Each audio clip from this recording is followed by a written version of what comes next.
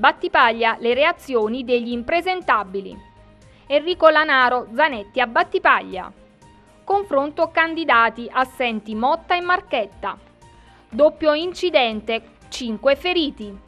Droga nel Reggiseno, arresto e denuncia. Eboli, protesta dei vigili urbani. Santa Cecilia, interrogazione del PD. Capaccio Pestum, denominazione approvata. Le terre della bufala, quarta cicloturistica.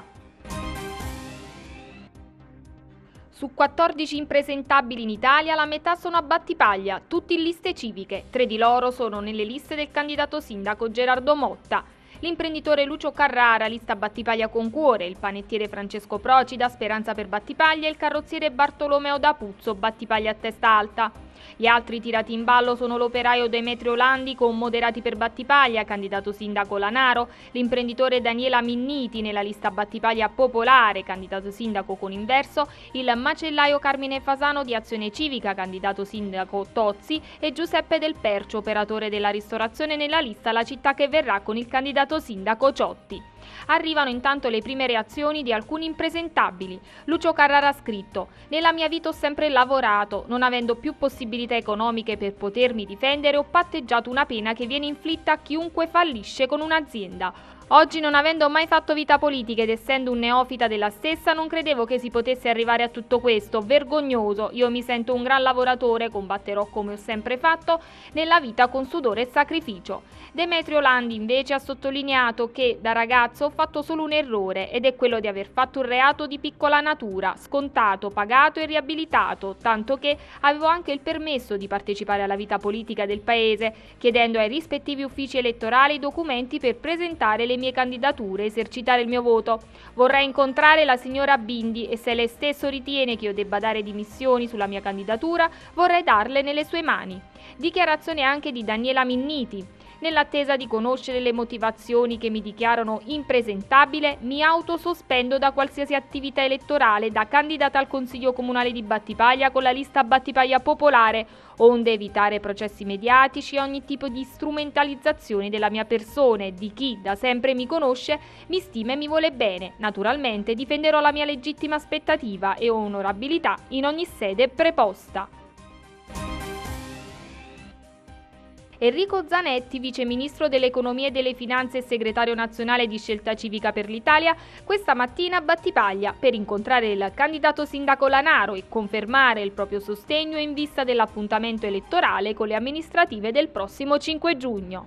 Il messaggio è di per sé stesso Enrico Lanaro, una persona seria, una persona che si mette in gioco per la sua città, lo fa con coraggio, andando al di là di quelle che sono le appartenenze partitiche, le strutture, si presenta con delle sue liste civiche, ma non per questo è solo, ha l'appoggio di chi già in passato ha cercato il rinnovamento della classe dirigente italiana in Parlamento e che vuole insieme a lui fare un'operazione analoga qui su Battipaglia. Più che un appello adesso è un ringraziamento al Vice Ministro che con tutti questi impegni ha pensato a Battipaglia, quindi Battipaglia dovrebbe andare sul giornale non solo per eventi negativi ma enfatizzare appunto la presenza dello Stato in una cittadina insieme a noi per garantire praticamente la ripresa di questi territori. Quindi più che un appello voglio sfruttare l'occasione per dire questo, lo Stato, lo Stato genuino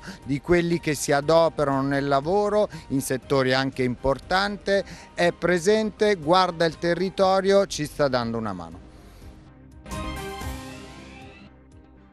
Si è svolto ieri pomeriggio in diretta il confronto tra i candidati a sindaco di Battipaglia erano presenti Ciotti, Cersosimo, Francese Inverso Lanaro e Tozzi, assenti Motta e Marchetta. Programmi aspettative, commissioni antimafia, queste le tematiche affrontate in studio. Il confronto è stato seguitissimo sia sul digitale terrestre che in streaming. La replica andrà in onda questa sera alle 21.10 circa.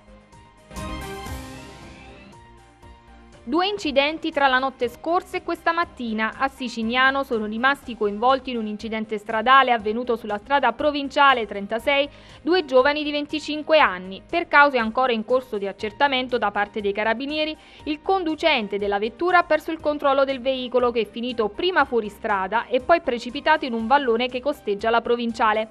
Sulla statale a Campagna invece ferite quattro persone rimaste chiuse nell'autovettura che si è capovolta. Sul posto i vigili del fuoco che li hanno estratti, contusioni e traumi. Infine, questa mattina, poco dopo le 9 all'uscita autostradale di Campagna, scontro tra auto e cisterna, un ferito policontuso condotto in ospedale. Si indaga sulle cause dell'impatto. Nascondeva la droga nel reggiseno della moglie, arrestato Maurizio Ciancio, pregiudicato e spacciatore. Il pusher di 33 anni era in auto con la compagna e il figlio piccolo. I due coniugi sono stati a Castellammare di Stabia. Comprata la droga, Ciancio e la moglie stavano rientrando ad Eboli. Le 35 dosi di cocaina erano destinate nelle piazze della Piana del Sele, ma lo spacciatore è stato fermato all'uscita autostradale di Ponte Cagnano. I poliziotti della squadra mobile hanno attirato Ciancio in trappola. Lo spacciatore non ha avuto il tempo di fuggire. I poliziotti hanno perquisito la smart e la moglie, recuperando le 35 dosi di cocaina. Ciancio è stato arrestato con l'accusa di detenzione di sostanze stupefacenti. La moglie è stata denunciata per favoreggiamento. Vigili urbani senza divise estive. Questa mattina è partita la protesta.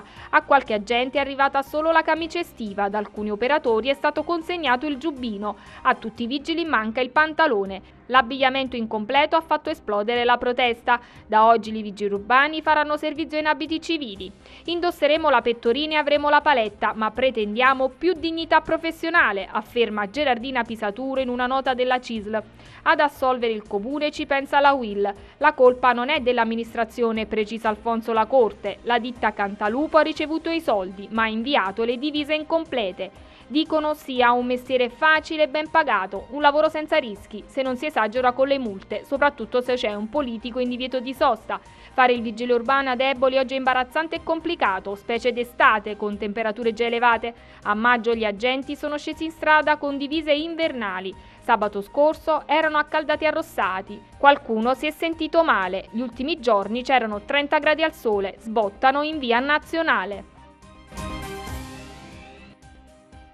I consiglieri comunali del PD Ebolitano, Antonio Conte, Teresa Di Candi e Antonio Petrone, hanno presentato un'interrogazione al sindaco di Eboli Massimo Cariello e al presidente del Consiglio Comunale Fausto Vecchio sul degrado e la messa in sicurezza del quartiere Santa Cecilia. Nella nota si chiede quali iniziative si intendano intraprendere per l'area urbana di Santa Cecilia per risolvere problemi di sicurezza e decoro, come il progetto di risanamento che riguarda le strutture Spartacus e la scuola Virgilio. Da tempo si precisa, non si procede al rifacimento della segnaletica stradale, pertanto le strade del quartiere non sono in sicurezza. Gli spazi pubblici e privati inoltre sono lasciati nel degrado, data la mancata manutenzione di pulizia. Non più solo Capaccio, ma l'indicazione di Capaccio Pestum. Sì, perché il Consiglio regionale della Campania ha definitivamente approvato il cambio di denominazione del comune di Capaccio in città di Capaccio Pestum. Si conclude quindi l'iter burocratico che ha avuto inizio più di due anni or sono con l'indicazione del referendum comunale con il quale la cittadinanza espresse la propria preferenza per la giunta di Pestum a Capaccio. L'approvazione dell'assise regionale è avvenuta con voto all'unanimità, 39 voti favorevoli su 39 presenti, compreso il sì dei rappresentanti del Movimento 5 Stelle. Ciclisti protagonisti nelle terre della Bufala si rinnova per il quarto anno consecutivo la manifestazione del 2 giugno promossa dall'associazione Eboli Sele Bike in collaborazione con il GS Fontana Vecchia. All'iniziativa sportiva hanno aderito anche i Rampic Evoli. La novità di quest'anno è la visita alla casina reale dei Borbone nella caserma militare di Persano. L'appuntamento per gli appassionati delle due ruote in Piazza della Repubblica domani mattina. Il raduno è alle 7.30. Scortati dagli scooteristi di San Pio, dalla Protezione Civile e dalla Croce Gialla, gli amanti delle due ruote, nonché delle recenti imprese di Vincenzo Nibali, partiranno alle 8.30 verso il fiume Sele. Attraverseranno paesaggi mozzafiati e tenuti secolari. Quest'anno abbiamo ottenuto 300 adesioni, spiega Damiano Capaccio, dirigente della Eboli Selebike e organizzatore dell'evento, che ha il patrocinio del comune di Eboli. La ciclopedalata sarà a velocità controllata, sono previsti 4 punti di ristoro.